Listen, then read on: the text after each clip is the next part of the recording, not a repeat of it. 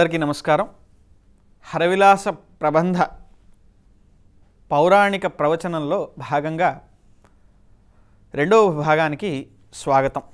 దూర్వాస మహర్షి బదరికాశ్రమంలో ఎప్పుడైతే ఆ లేడి పిల్లలన్నింటినీ కూడా దగ్గరికి తీసుకొని వాటికి భోజనాన్ని పెడుతూ ఉన్నాడో ఆ సమయంలో ఆకాశ మార్గం నుంచి చూసినటువంటి ప్రమధుడు తుంబురుడు అనేటువంటి ప్రమధుడు ఇలా చేచిట్ట మ్రోగించగా చిటిక వేసిన వెంటనే ఏం జరిగింది అనేటువంటి విషయం చాలా చక్కగా చెప్పాడు మనకి శ్రీనాథ మహాకవి.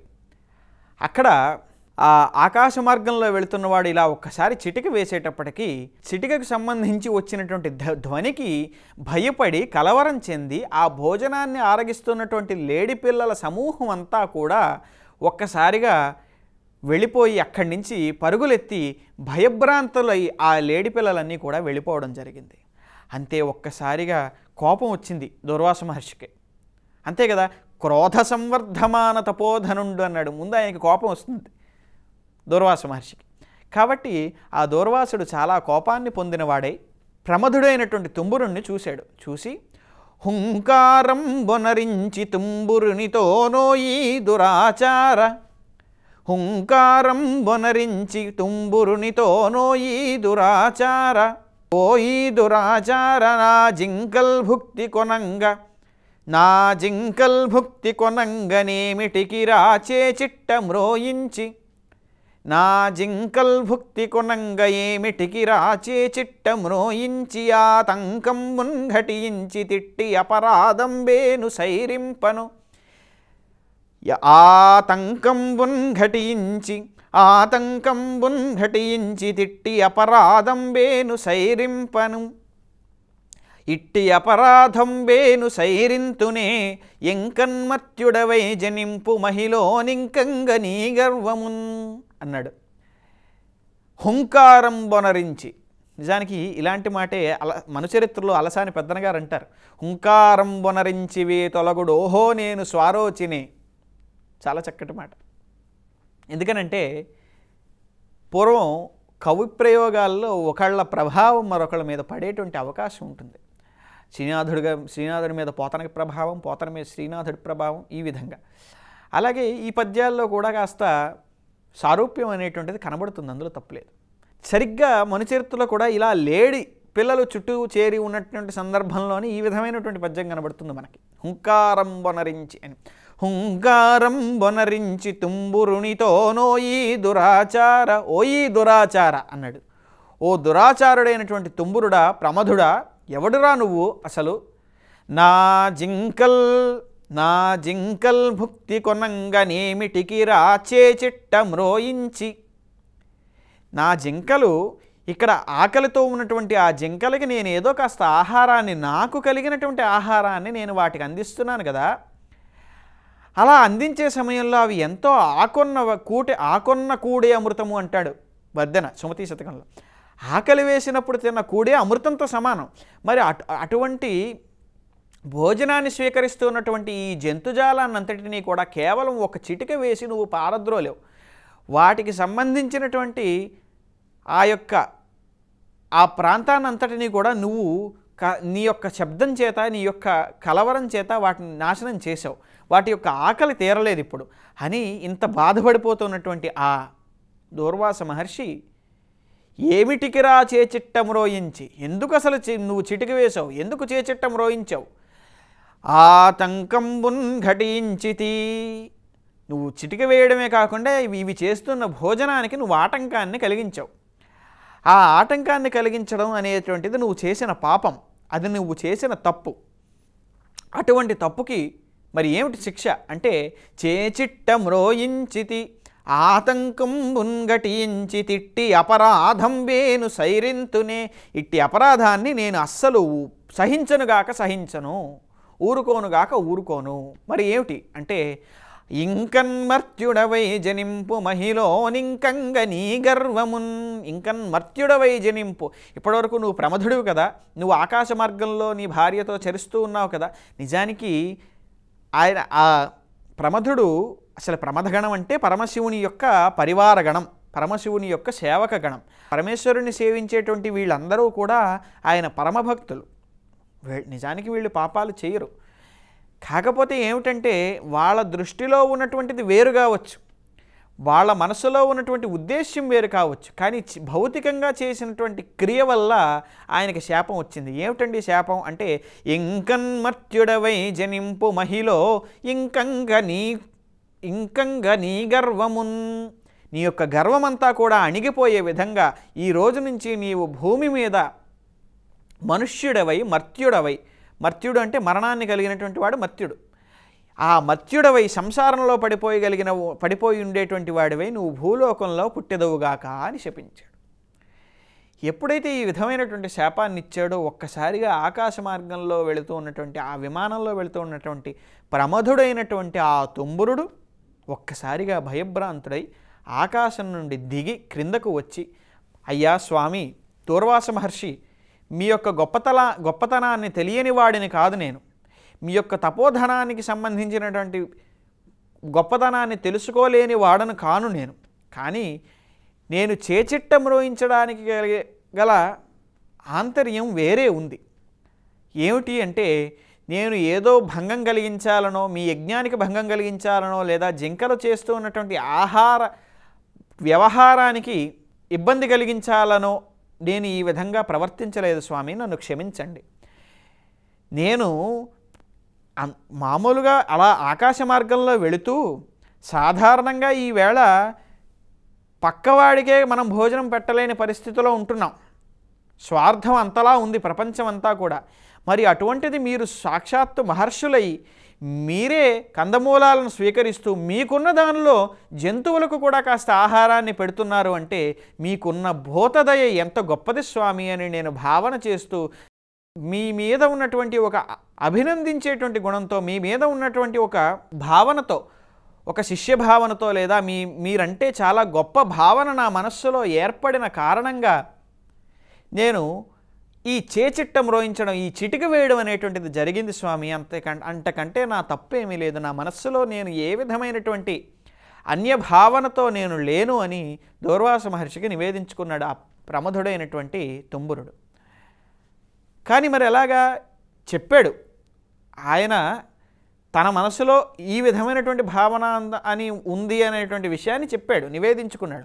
కానీ అంతకు ముందే భౌతికంగా తను చేయవలసినటువంటి చర్యను తను చేసేసాడు ఆ చర్యకు ప్రతిచర్యగా దూర్వాస మహర్షి నుండి శాపాన్ని కూడా పొందడం కూడా జరిగిపోయింది. ఇంకా ఆ శాపానికి తిరుగులేదు. కాబట్టి ఇటువంటి పరిస్థితుల్లో మరి ఏమి చేయాలి? ఇంకా తప్పదు. కాబట్టి స్వామి మీరు ఇచ్చిన శాపాన్ని నేను తప్పకుండా శిరోధార్యంగా భావించి నేను ఆ శాపాన్ని అనుభవించడానికి నేను ఉద్యుక్తుడనవుతాను. ఖచ్చితంగా నేను ఆ శాపాన్ని స్వీకరిస్తాను.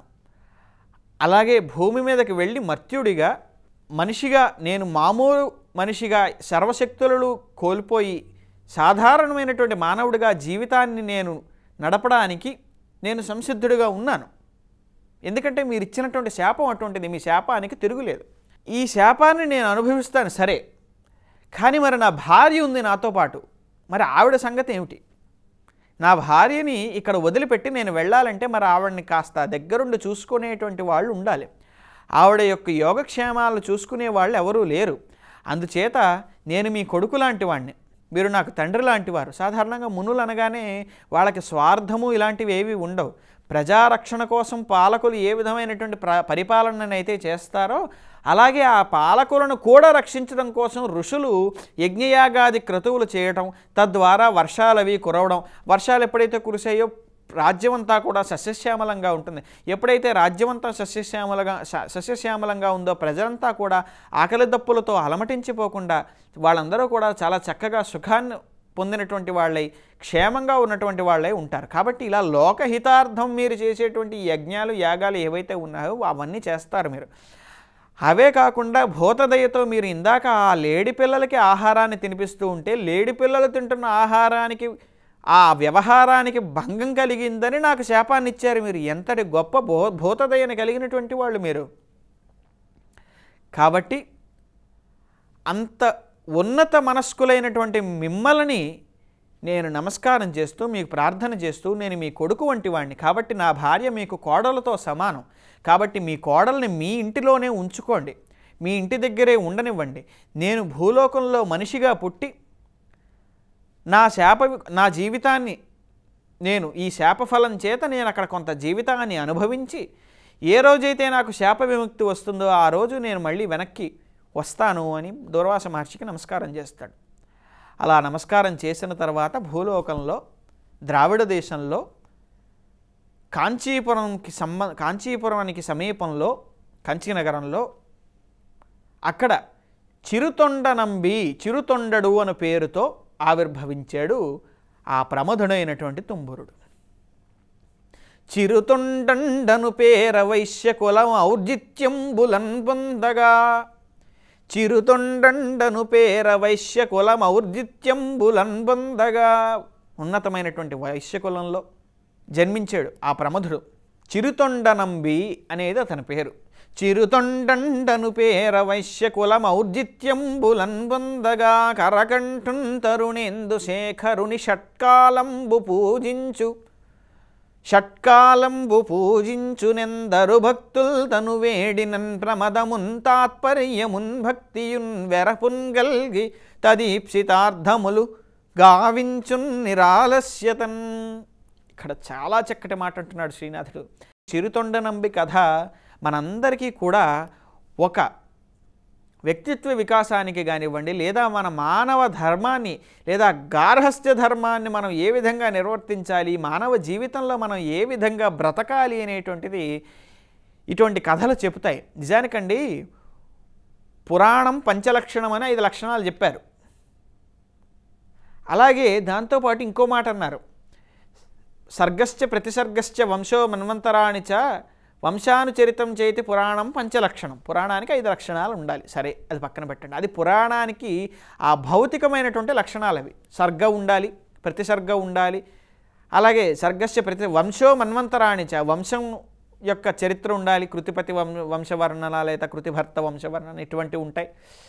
అలాగే మన్వంతరాలకు సంబంధించినటువంటి కాలానికి సంబంధించినటువంటి కొన్ని కథలు అందులో ఉంటాయి. వంశానుచరితం ఇవన్నీ కూడా ఉంటాయి. అలాగే ఇంకో మాట ఏమన్నారు? పురాపినవం పురాణం అన్నారు. ఎంత ప్రాతదైనా కూడా కొత్తగా ఉంటుందట. ఎందుకు కొత్తగా ఉంటుంది? నవ నవోన్మేషశాలిని ప్రతిభామత. అసలు పురాణాలు కానివ్వండి ప్రబంధాలు కానివ్వండి ఏ విధమైనటువంటి సాహితీ ప్రక్రియనో లేదా సాహిత్యానికి సంబంధించినటువంటి అంశాన్నో మీరు తీసుకుంటే అవన్నీ కూడా ఏమిటి? ప్రతిభామయాలు. ఇప్పుడు పద్దెనిమిది పురాణాలు వ్యాసమహర్షి రాశాడంటే వ్యాసమహర్షి యొక్క ప్రతిభ అది. వ్యాసమహర్షి యొక్క గొప్పతనం అది. నవ నవోన్మేషశాలిని ప్రతిభామత నవ నవోన్మేషశాలిని ఈ ప్రతిభ అనేటువంటిది ఎప్పటికప్పుడు కొత్తగా ఉంటుంది. ఇది ఎప్పుడో పాత చెత్తకాయ పచ్చడి అనుకోకూడదు మనం. ఎప్పటికప్పుడు క్రొత్తగా ఉంటుంది. ఆ క్రొత్తగా ఉన్నదాన్ని ప్రతిభ అన్నారు. కాబట్టి పురాపి నవం పురాణం అలాగే పురాణం అనేటువంటిది కూడా ఎప్పటికప్పుడు క్రొత్తగా ఉంటుంది. ఎందుకు క్రొత్తగా ఉంటుందండి? అంటే మనం పురాణ ప్రవచనాన్ని లేకపోతే పురాణానికి సంబంధించినటువంటి అంశాలని కేవలం భగవత్ సంబంధమైనటువంటి కథలుగానో భగవంతుణ్ణి చేరుకోవడానికి మోక్ష సాధనకు అవసరమైనటువంటి సామగ్రిగానో చూడడమే కాకుండా మన దైనందిన జీవితంలో రోజువారీ కార్యకలాపాలలో మనం ఏ విధంగా జీవిస్తున్నాం? మనకి ఎన్నో ఆదర్శ పాత్రలు ఉన్నాయి. ఒక ప్రహ్లాదుడు ఎలా ఉన్నాడు? ఒక ధ్రువుడు ఎలా ఉన్నాడు? ఒక మార్కండేయుడు ఎలా ఉన్నాడు? ఒక చిరుతొండ నంబి ఎలా ఉన్నాడు? ఆయన కొడుకు సిరియాలుడు ఎలా ఉన్నాడు? ఈ విధమైనటువంటి పాత్రలు మనల్ని ప్రభావితం చేస్తాయి దైనందిన జీవితంలో. ఒక తండ్రి ఎలా ఉండాలి? ఒక కొడుకు ఎలా ఉండాలి? ఒక భార్య ఎలా ప్రవర్తించాలి? ఒక భర్త ఎలా ప్రవర్తించాలి? ఒక రాజుగారు ఎలా ఉండాలి? అందుకే భారతంలో ధౌమ్య మహర్షి అంటాడు ఇవన్నీ కూడా ధౌమ్య మహర్షి ఎన్నో చక్కని నీతులు ఈరోజు ఉద్యోగాలు చేసే వాళ్ళందరికీ ఉపయోగపడేటువంటి ఎన్నో లక్షణాలని ధౌమ్య మహర్షి భారతంలో ధర్మరాజు ఇత్యాది పంచపాండవులందరికీ కూడా చెప్పడం జరిగింది. ఇలా ఎందుకు చెప్పుకోవాలి అంటే పురాపి నవం పురాణం ఎంత ప్రాతదైనా కూడా క్రొత్తగా ఉండాలి. ఏదో ఒక క్రొత్తదనాన్ని మనం అందులో వెతుక్కోవాలి. ఎందుకు వెతుక్కోవాలండి అంటే చిరుతొండ నంబి కథ ఇలా జరిగింది. చిరుతొండడు ఈ విధంగా చేశాడు అని చెప్పుకోవడం వలన మనకి పెద్ద ఒరిగేదేమీ లేదు. చిరుతొండడు అలా చేశాడు. నేను ఎలా చేయాలి. ఆయనకు ఉన్నంతలో ఆయన ఏం చేశాడు అంటే వైశ్యకుల మౌర్జిత్యంబులన్ పొందగా కరకంఠున్ తరుణేందు శేఖరుని షట్కాలంబు పూజించు. కరకంఠున్ తరుణేందు శేఖరుని షట్కాలంబు పూజించు. ఆరు కాలాల్లో కూడా ఆరు కాలాలు అంటే మనకి రోజులో పరమేశ్వరుని అర్చన చేసేటప్పుడు కొన్ని విధానైనటువంటి కొన్ని విధానాలు మనకి ఇచ్చారు అసలు పరమేశ్వరుడు బోళాశంకరుడు. ఎంత బోళాశంకరుడు అంటే నీలకంఠుని శరముపై నీళ్ళు జల్లి పత్తిరిశుమంత ఎవ్వాడు పారవైచు. నీలకంఠుని శరముపై నీళ్ళు జల్లి పత్తి రిషుమంత ఎవ్వాడు పారవైచు. అటువంటి వాడికి ఏమవుతుంది అంటే అల్లసురస కల్పవృక్షంబు వానింటి కామధేనువు వానింటి గాడి పసర మల్ల వానింటి మల్లె చెట్టు.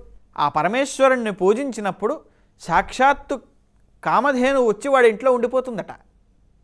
వాడి పెరటి ఆవులాగా. అలాగే ఆ సురశాఖి మల్లె అల్ల వానింటి సురశాఖి మల్లె చెట్టు సురశాఖి వానింటి మల్లె చెట్టు. ఆ కల్పవృక్షం కూడా వాడి ఇంట్లో మల్లె చెట్టు అయి పువ్వులు పూస్తుందయ్యా అన్నాడు. మరి అటువంటి పరమేశ్వర అనుగ్రహాన్ని పొందిన ప్రమధుడే ఈ తుంబురుడు. ఆ తుమ్మురుడే ఈ చిరుతొండ నంబి. ఆ చిరుతొండ నంబి ఎటువంటి వాడు? కరకంఠున్ తరుణేందు శేఖరుని షట్కాలంబు పూజించు. కరకంఠుడు. కరకంఠుడు తరుణేంద్ర శేఖరుడు. రెండు మాటలు అంటున్నాడు తరుణేంద్ర శేఖరుడు. నల్లగా ఉన్నటువంటి విషం కలిగినటువంటి ఆ కంఠము కలిగినటువంటి వాడు అలాగే తరుణేంద్ర శేఖరుడు చక్కగా అర్ధచంద్రాన్ని శిరస్సుపై నింపుకున్నటువంటి ఆ పరమేశ్వరుడు. నిజానికి ఇక్కడ రెండు మాటలు చెప్పడంలో ఈ పునరుక్తికి విశేషం ఏమిటి అంటే శ్రీనాథుడికి పరమేశ్వరుడు అంటే అంత ఇష్టం.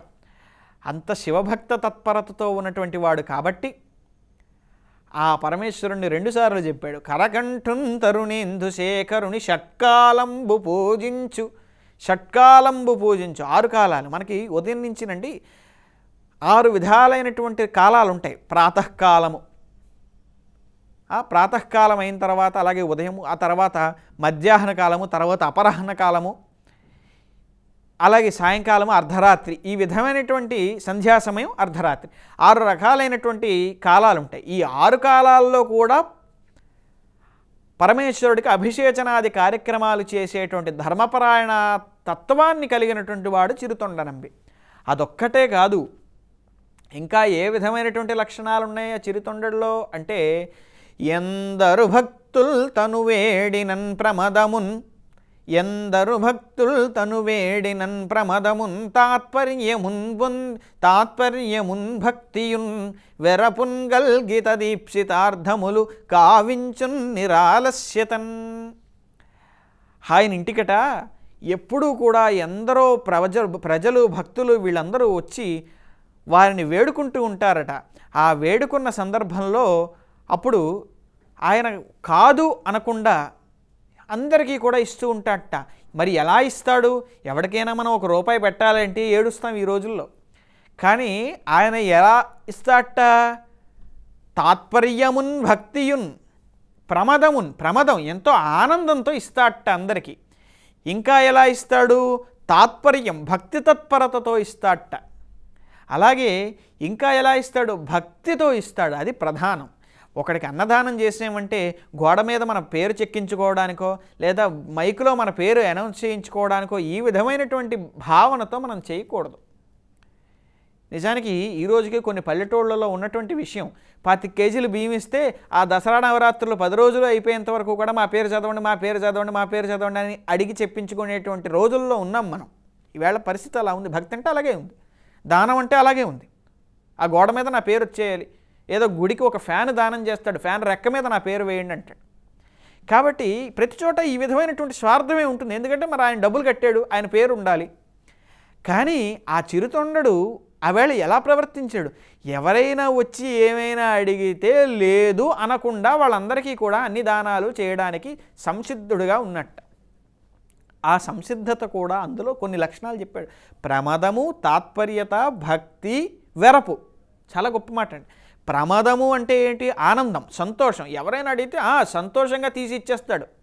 ఎవరైనా ఏదైనా అన్నదానం చేయండి అన్నారనుకోండి "ఆ, సంతోషంగా వెయ్యి మందికి భోజనం పెడదాం అంటాడు. వస్త్రదానం అడిగారనుకోండి "ఆ, వస్త్రాలు ఇవ్వండి ఊరందరికీ వస్త్రాలు పంచండి అంటాడు. అసలు కంచి అంటేనే వస్త్రాలకి ప్రతీది. కానీ తాత్పర్యత ఉంది భక్తి ఉంది. ఎలాగో భక్తి ఉండడం వలనే శివభక్తి అమితంగా ఉండటం చేతనే ఆయన ఈ విధమైనటువంటి కార్యక్రమాలన్నీ కూడా చేస్తున్నాడు. కానీ చివరికి ఏమన్నాడు? వెరపున్ కలిగి తదీప్సితార్థములు గావించున్ నిరాలస్యతన్. వెరపు. అసలు ఎవరికైనా దానం చేసేటప్పుడు కానివ్వండి లేకపోతే ఎవరికైనా కాస్త సంభారాన్ని ఇచ్చేటప్పుడు వెరపు ముందు ఈ భయాన్ని పొందుతున్నట్ట. ఎందుకు భయాన్ని పొందుతున్నాడు? అంటే ఎక్కడ వాళ్ళు అడిగితే నేను లేదంటానో. ఎక్కడ వాళ్ళు కావలసినటువంటి అంశాలని లేకపోతే కావలసినటువంటి సామగ్రిని నేను చేకూర్చలేకపోతానో అనేటువంటి భయాన్ని పొంది ఉన్నట్ట. అందుకని వెరపున్ కలిగి అన్నాడు శ్రీనాథుడు. ఎంత అద్భుతమైనటువంటి లక్షణం అసలు. వాళ్ళకి నేను ఇవ్వగలుగుతానో లేదో అని భయాన్ని పొందేట భక్తితో ఇవ్వడం వేరు సంతోషంతో ఇవ్వడం వేరు ఆనందంతో ఇవ్వడం వేరు డబ్బులు ఎక్కువైపోయి ఇవ్వడం వేరు. ఒకవేళ వాళ్ళకి ఎక్కడ ఇవ్వలేకపోతానో నా ఇంటికి వచ్చిన వాళ్ళకి అన్నం పట్టలేకపోతానో నా ఇంటికి వచ్చిన వాళ్ళు ఖాళీ చేతులతో వెనక్కి తిరిగి వెళ్ళిపోతారేమో అనేటువంటి భయంతో రోజు రోజు బతుకుతూ అనేకమైనటువంటి ధర్మ కార్యక్రమాలు అన్నదానాలు చేస్తూ వెరపున్ కల్గిత దీప్సితార్థములుగా ఆవించున్ నిరాలస్యతన్ నిరాలస్యతన్. ఆలస్యము లేకుండా అడిగినదే తడవుగా ఎవరైతే ఏమేమైతే అడుగుతారో వాళ్ళందరికీ కూడా సమస్త దానాలను చేసేటువంటి ఉన్నత వ్యక్తిత్వాన్ని పొందినవాడై ఉన్నాడు ఆ చిరుతొండ నంబి. అలాగే ఆ చిరుతొండ నంబితో పాటుగా ఆ ప్రమధుడైనటువంటి తుంబురుని భార్యగా దూర్వాస మహర్షి యొక్క ఇంట ఎవరైతే కోడలుగా ఉంచాడో ఆ తల్లి కూడా తిరువెంగనాంచి అనే పేరుతో ఈ భర్తకు సరిపడిన భార్యగా అవతరించింది. తిరువెంగనాచి అవతరించిన తర్వాత ఏ విధమైనటువంటి అంశాలను అక్కడ జరిగే కథ కథలో ఏ విధమైనటువంటి భక్తిని వాళ్ళు ప్రదర్శించారనేది వచ్చే సంచికలో చూద్దాం. నమస్కారం.